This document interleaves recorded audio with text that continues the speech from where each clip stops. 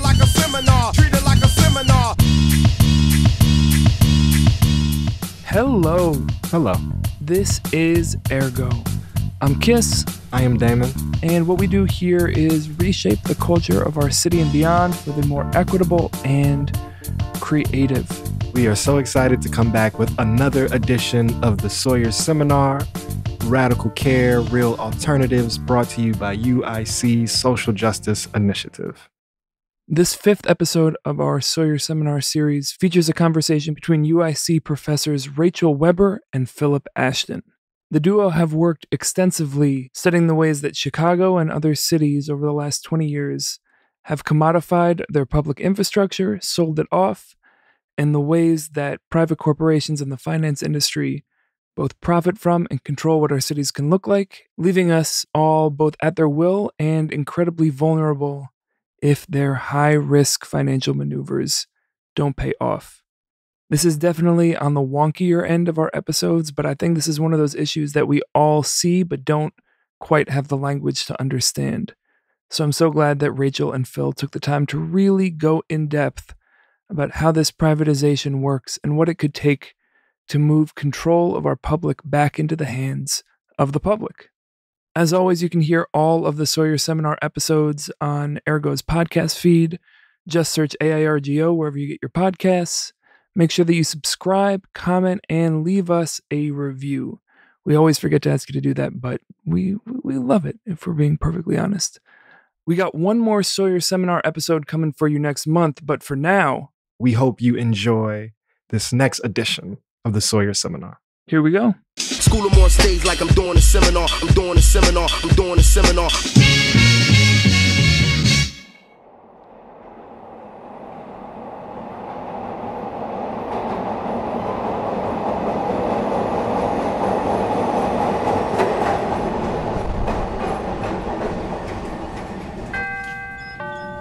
Doors closing. That's the rumble of the L, the subway in Chicago. It's kind of the soundtrack to the city. It's a common sound that we hear when we walk around the city, which is something that Phil and I like to do. And if you're walking near the subway tracks on the west side of Chicago, you'll see it'll be the green line. And when you see trains, you may be thinking about public transit or you know whether or not the trains are running on time whether or not you're going to be able to take it to get to your job or to see your friends or what the train costs to ride. When phil and i see the green line we see cash flows right? Every time we ride the l or park our cars or pay a toll or pay our property taxes we're paying for the use of urban infrastructures but in many cases, we're actually paying a private investor, not the city or a municipal government, for this service. Let's take a look at an example. The Green Line is actually uh, an excellent case. It's one of the iconic pieces of infrastructure, the rail line that serves the west side and the south side of the city. Back in 1998, the city of Chicago pretty quietly set up a financial arrangement known as a lease leaseback where it transferred the rail lines to a private investor in return for an upfront payment of $339 million. The agency would then pay investors an annual lease for the right to use the lines throughout the 44 year term of the deal.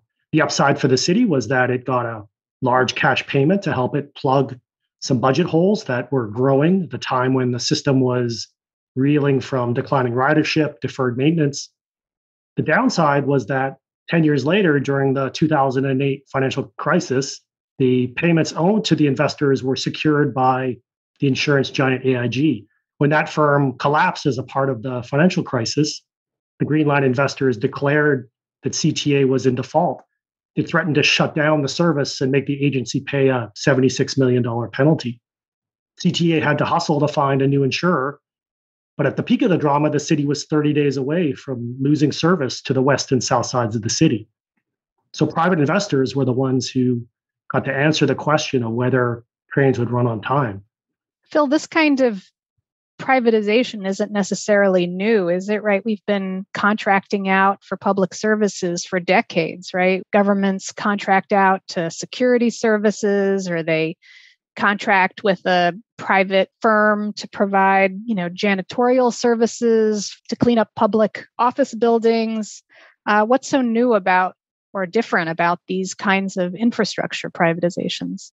What we describe with the Green Line is different than just contracting out. So, yes, a private firm becomes responsible for delivering the services and the upkeep and the maintenance. But this trend to selling city assets involves private firms buying the rights to collect revenues that cities previously collected. So, it's a much larger question around how city budgets are arranged. And it touches a lot of what we think of as infrastructure roads, bridges, water systems, airports, and increasingly a lot of the facilities that are tied into our daily lives, libraries, police stations, schools. There are also some real differences between these kinds of financial arrangements that we saw with the Green Line and regular privatization. So, in, in many ways, Chicago was an innovator uh, in this area. In 2004, uh, the city solicited bids to lease out the Chicago Skyway. So, only six years after the Green Line deal, I put up this seven mile toll road at the southern end of the city, connecting the city to Northwest Indiana and that deal was something of a surprise. The bridge itself, the road, had been in financial difficulty for decades. The revenues had only really stabilized and started to increase in the 1990s. The city at the time estimated that maybe it would earn about $900 million from the sale and it would use that to retire some debt. But it was shocked when the winning bid came in at $1.82 billion. And that bid came from a consortium led by the Australian investment bank Macquarie and the Spanish engineering firm Cintra.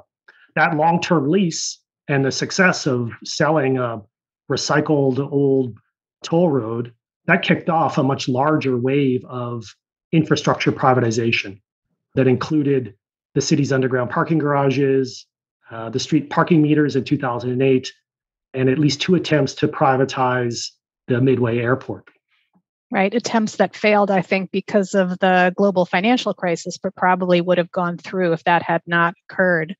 You know, Chicago's seems like an exception, but also, you know, in, in some ways not that different from what cities, not just in the United States, but around the world have been doing for a while, right? They've moved from a reliance on private contractors providing standardized services like janitorial services to more systematically transferring existing city infrastructures to private investors. Um, so, in addition to these Chicago deals that went down in the early 2000s, we have leases for the Northwest Parkway outside of Denver, the Indiana Toll Road, the Dulles Greenway outside of Washington, D.C. These were all sold to private investors and the current pipeline is so large it's really hard to know um, you know definitively what it contains i know that there was talk of privatizing the border crossing the bridge between detroit and windsor ontario the port of portland and oregon it just seems like every month we're seeing more more deals be proposed you know and some of them actually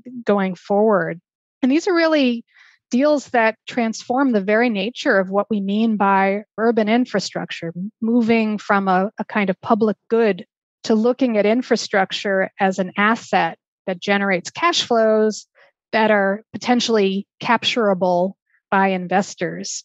These deals raise a lot of questions, questions that we've attempted to answer in our research and questions that public administrators and policymakers and community organizations are struggling with. You know how should cities be managed? How should we think about urban futures? You know who are you paying every time you pay a toll or a fare uh, from a democratic perspective who can i complain to if i'm not happy with the quality of the these ostensibly public services or infrastructure? You know what if there is an emergency like a pandemic for example?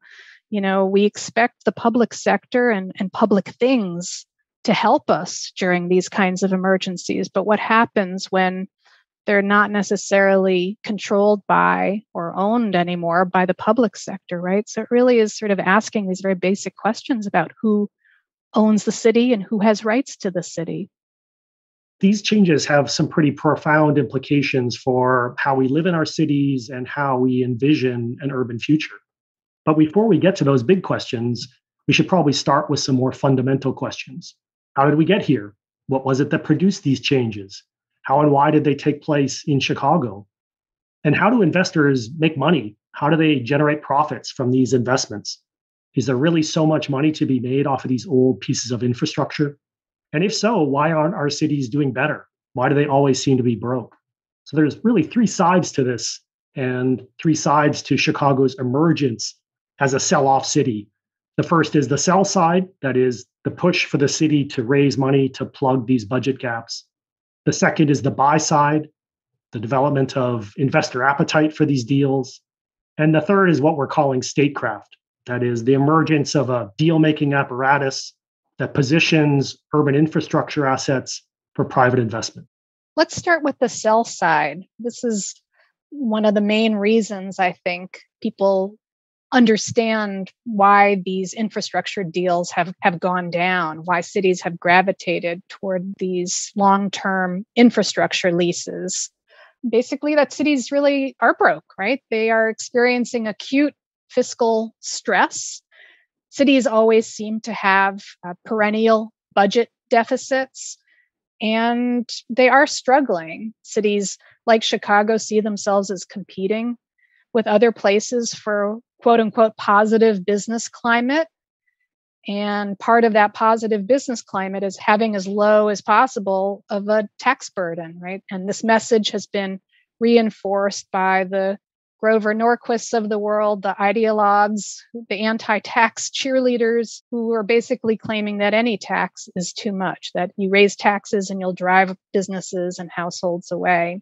And there have been taxpayer revolts, you know, starting in the 1970s with Prop 13 in California, homeowners rising up and demanding that states take action to try to control cities. So, by placing things like tax expenditure limitations, what we commonly known as tax caps, that restrict the ability of local governments to, to raise their taxes. And this especially affects non home rule entities so cities are restricted from raising money through the property taxes system or from implementing other kinds of taxes. And at the same time, they're required to do more with less. Since the 1970s, fiscal responsibility for providing urban infrastructure and urban services has been devolved from the federal government and then from the state government down to sort of the lowest actor in this fiscal food chain, which are cities, municipalities, local government agencies. And yet, even though they have more responsibility, funding from these higher entities, these higher scales of government have been cut, radically reduced.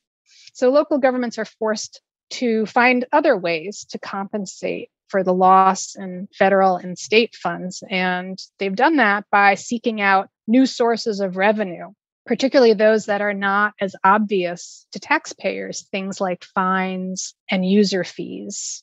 Especially bigger cities, they have pretty intense service needs, and those service needs have been growing for reasons related to these legacies of racial segregation, concentrated poverty. Big cities have to do more around things like affordable housing, neighborhood reinvestment, the provision of social services and there are also legacy infrastructures in, in cities, particularly older cities. They're dealing with roadways, streetscapes, bridges, public buildings that were built 100 years ago during the building boom of the, the 1920s.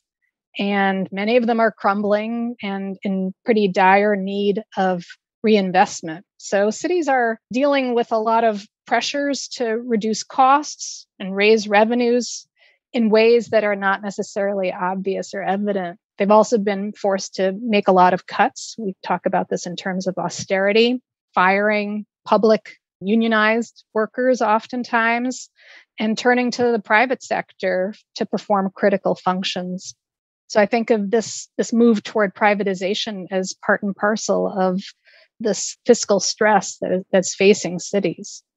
Another response to devolution and to fiscal stress uh, has been that cities gravitate to financial markets to raise revenue. They do it through, on the one hand, debt, and then on the other hand, through disposition, finding buyers and selling off existing assets. So let's start with debt and the increasing use of debt to manage revenue shortfalls. What do you do as a household when your bills are greater than your income? You charge them to your credit card. For cities, this has meant borrowing money by selling bonds. And this kind of debt driven welfare is a critical way that Chicago avoids cutting operating expenses while not raising taxes. Now, in the past, municipal borrowing was often curtailed by state legislation. There were handcuffs essentially on what cities could do in terms of borrowing. But states have increasingly helped local governments that are caught in this kind of structural imbalance by giving them more political control to raise money by selling bonds or other forms of debt. They often dabble in high cost, high risk variable rate debt. These are like the credit cards that have the highest interest rates. What this means is that more tax revenues are frequently channeled to interest payments rather than upgrading sidewalks or schools. So the taxes and fees that we pay to the city don't necessarily cover the services that we consume, but instead are dedicated to managing the city's debt service requirements from previous borrowing. It also means that cities are more beholden to credit rating agencies whose evaluations of the city's creditworthiness determine how much we have to pay for interest and to service our debt. The cities now borrow for even the most irregular expenses the city of Chicago sells bonds to pay off legal settlements with families and individuals who are the victims of police violence. They pay very high interest rates. Uh, so, perversely, we have investors who are profiting off the violence that is inflicted on people of color. The revenues going to interest payments are revenues that are not going to community development, education, uh, or restorative justice initiatives. So, cities look to financial markets to solve a lot of their internal problems this you know to sort of fill in for these structural budget deficits another way in which they try to enroll private investors or financial markets and sort of bring them into the picture is through you know what we were talking about earlier with this with the disposition of public assets right selling off the revenue streams from from infrastructure to the highest bidder through these public private partnerships cell phone towers and bus shelters. Um, you know, basically cities looking at their own inventories of assets, public buildings, and trying to figure out how they can squeeze revenues out of them. And we even see venture capital companies and tech firms taking over entire neighborhoods or parts of cities. I'm thinking here of Google Sidewalks project in Toronto, which developed all these kinds of smart cities types of infrastructure sensors that were trying to monetize data flows, right? That was seen as a potential revenue source for these cash strapped cities. On the buy side, we see that investors have new reasons to be interested in these kinds of infrastructures. If you look at the period of time when these P3 deals were becoming popular, we see that it coincided with a time when we have global investors flush with cash prospecting for new outlets, especially in the wake of stock market crashes and crises like those that occurred in the early 2000s. So, investment firms saw cities and the built environment and public infrastructures as a way to sort of hedge inflation looked like a, a, kind of safe haven, maybe not as subject to the volatility as things like the tech market or the stock market. So these large, well capitalized investment banks went on the hunt and uh, were able to benefit from first mover advantages. They were some of the, the first on the dance floor, so to speak. So the, the amount of money, the sort of this giant pool of money looking for yields uh, found its way to these urban infrastructure deals. And we really see this kind of uh, generating a tremendous amount of interest, particularly in the, the first decade of the 2000s. This raises a pretty interesting question. How do investors make money off of urban infrastructure? When we look at that wave of deals in the 2000s in particular, we see some common elements. In many cases, the market for urban infrastructure assets during this period it wasn't based on being a really good road operator. You weren't hoping to make a profit because you knew how to run a road. And we see uh, in some of these generation of deals some pretty novel approaches to generating profit out of infrastructure, especially infrastructure that had some pretty dubious financial track record to begin with. Investment banks essentially combining urban infrastructure assets into portfolios and selling shares in those portfolios to institutional investors, oftentimes earning transaction revenue by facilitating sales back and forth within the portfolio. And then urban infrastructure itself turns out was uh, uniquely positioned for the use of financial engineering, for derivatives and other kinds of advanced financial products that allowed the investors and these purchasers to speed up the profit rate, even in the early years of the deal. The infrastructure asset itself becomes a stepping stone to make more money in financial markets. So the use of complex derivatives essentially allowed investors to take marginal investments in some cases and turn them into highly profitable ventures. And that meant that uh, there's a, a, bit of a, uh, a dual edged sword here with the city earning very high payments from uh, its sales of these infrastructure assets, but at the same time, having those assets now uh, entangled in some highly speculative forms of financing. Yeah, a lot of risks involved in this sort of risky architecture. It's interesting. We, you know, we, we, we provide a lot of examples from Chicago, partly because we live here, we study the city, but there are other cities that have followed the, the same path, but not all cities have, right? There's a tremendous amount of variation in terms of which cities, which places have been able to undertake these kinds of deals. Not all cities have received the same amount of investor interest. Not all cities have received the same degree of fiscal stress that would lead them to these kinds of short term solutions. And that brings us to sort of the, the third important factor in, in trying to understand this particular market, and that is what we were calling financial statecraft, the structures and practices of local government that allows them to become active agents and sort of engineers of these kinds of deals. So in Chicago, we see a lot of the same consulting firms and law firms and bond underwriters who are doing all the deals that, that Phil just mentioned. And for each of the transactions, they're kind of repositioning themselves at different points in this network. Places like Chicago have been particularly successful in this regard because they've been able to build around them this kind of fixed structure of organized fiscal and political capacity that is able to withstand both changes in administration. So we've seen these same actors, no matter if it was Daley or Emanuel or Lightfoot, and the frequent restructuring of capital. Right, we had the global financial crisis, which caused uh, some of these financial actors to pull back, to reorganize, and in different form. We see different kinds of instruments and different firms sort of taking their place, but we do see a consistency of interest and we see the development of this apparatus that has helped the thick structure of organized fiscal power internally from an administrative perspective we also see certain changes in city hall that have facilitated these deals.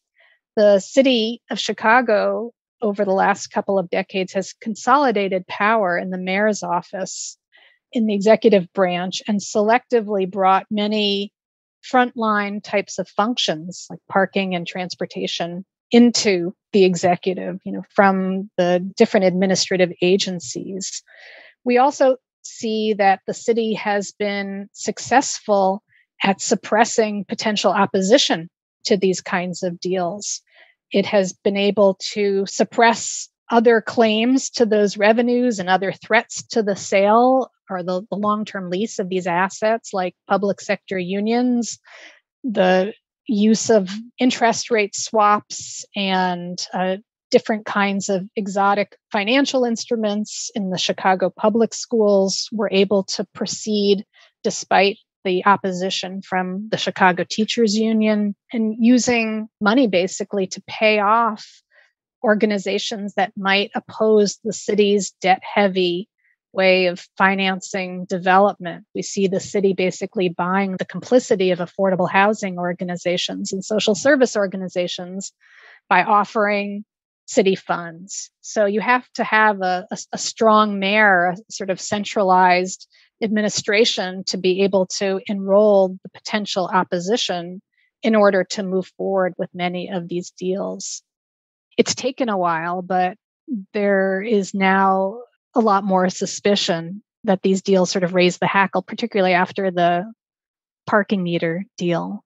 There was a lot more interest and concern and outrage about these privatization deals, and they haven't been as easy to steamroll and to kind of push through. There have been uh, groups that have been challenging the city's priorities and challenging the idea that the city is broke and, and is out of funds to help advance whether it's racial justice or uh, the need to adapt the city for the challenges related to climate change. So I think that it took a while, but there are now constituencies and stakeholders and organizations that are very much watching the city's every move when it comes to deciding to, to sell off pieces of the public's pie, so to speak. So, through this system, we see how revenues from urban infrastructure, how those are being sold off to private investors. The question is what have been the effects of these changes? Results of Chicago's sell offs can be seen as either good or bad or even ugly, depending on how you view the role of private finance in structuring how the city does business.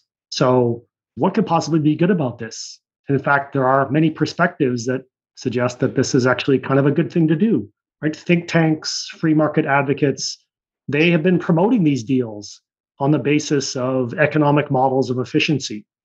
The city doesn't necessarily have any real reason to be in the business of owning things.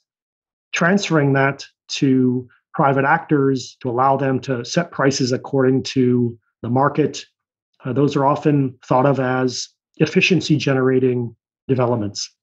Those provide infusions of needed cash. Those allow local governments, big cities like Chicago, to do things like renovate schools that have severe capital needs, or just to pay down their existing debt to increase their credit ratings so that they have a better margin of maneuver when they turn to municipal bond markets. We can see that in a number of areas within Chicago's history. So, the money that the investors paid to lease the Green Line, that allowed them to reinvest in fixing the tracks and improving the stations. Or when Morgan Stanley led a consortium to buy the 36,000 plus parking spaces in the city of Chicago, it agreed to update the fare boxes and implement uh, new metering technology. It would have been tens of millions of dollars that the city would have had to pay on its own. This allowed the city to raise prices, right, to raise the cost of parking to more accurately capture the value of being in different parts of the city, right, to raise downtown parking uh, fees, but to do so in a way that didn't have political risks for the city. It wasn't the city that was raising the fares, it was the new private owners. It addresses some longstanding issues around political will to do the right thing. The city has been able to plug some of its budget holes uh, while water is leaking out elsewhere. You're right, Phil. These deals are really expensive to structure, and they often deliver dubious benefits to the city and its residents. There are high transaction costs involved in leasing off these infrastructures, paying the bond counsel and the lawyers and the consultants to do the deals. I think for the Green Line deal, there was about $9 million in transaction costs. The city pays about $100 million every year to banks and law firms and other businesses that help it to borrow money. So that apparatus is expensive to maintain. There are also costs to city residents, some of which are more obvious than others, right? I think we all saw those uh, Skyway tolls go up and the parking rates to park downtown they increased almost immediately when the lease to Morgan Stanley was signed. But we also see the impact of these concession deals in more indirect ways. The city is limited in what it can do with its assets after it's sold off the cash flows to these investment consortia. So, for example, the city wants to host a street fair or put in a bike lane. It's now essentially taking the cash flow that it promised to Morgan Stanley. It, it forecloses different possibilities.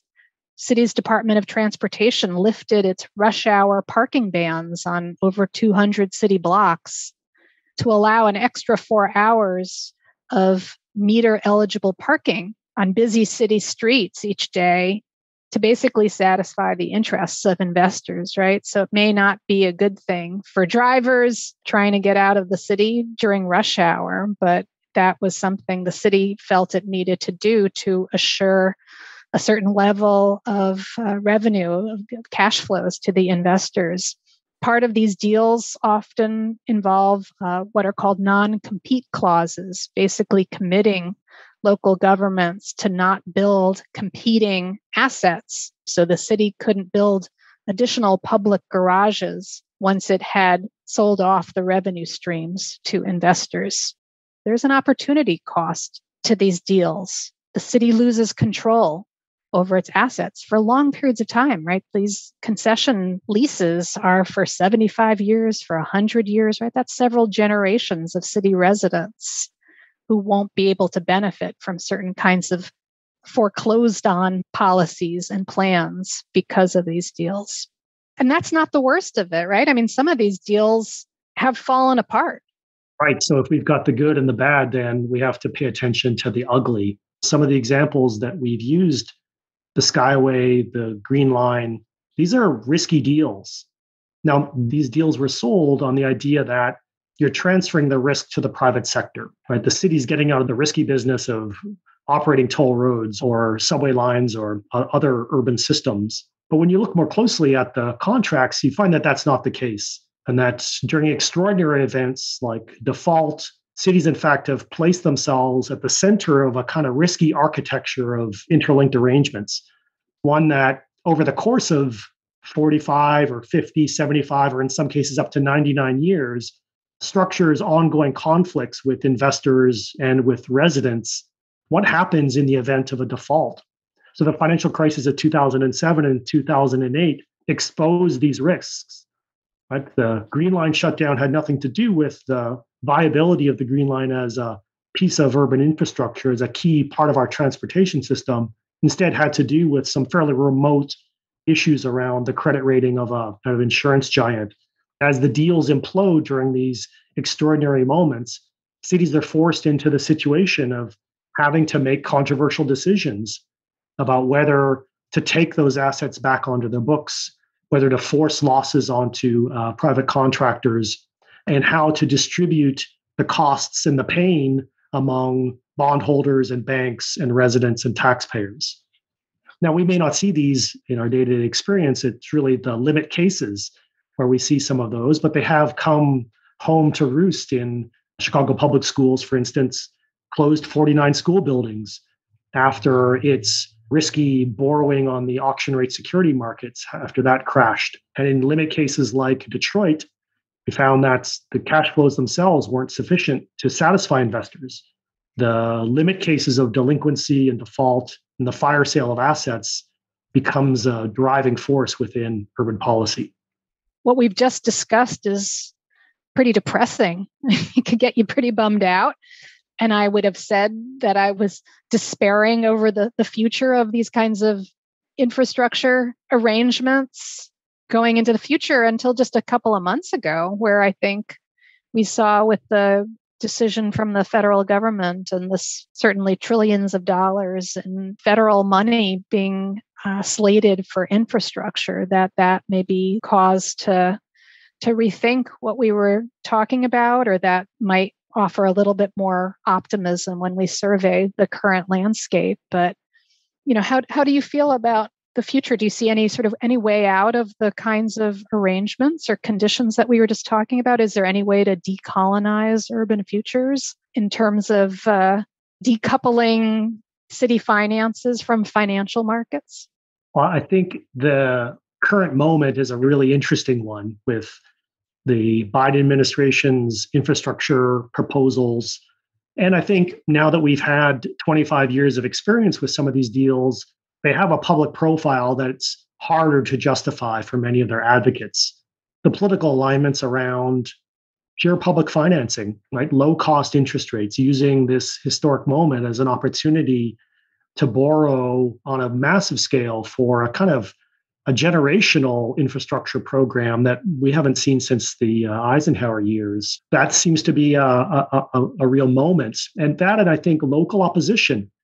Cities were able to do these deals because they were doing them internally, right? City Hall was making these decisions about procurement and about financing and revenue. And those were highly technical conversations that at the outset were insulated from public oversight, public criticism. But now that we've lived through a few of those deals and they haven't been what we thought they were, now in places like Chicago, there's many more eyes on these kinds of deals and there's more legislative control. So if I'm going to try and think about the balance sheet of pros and cons, where are we at at the current moment?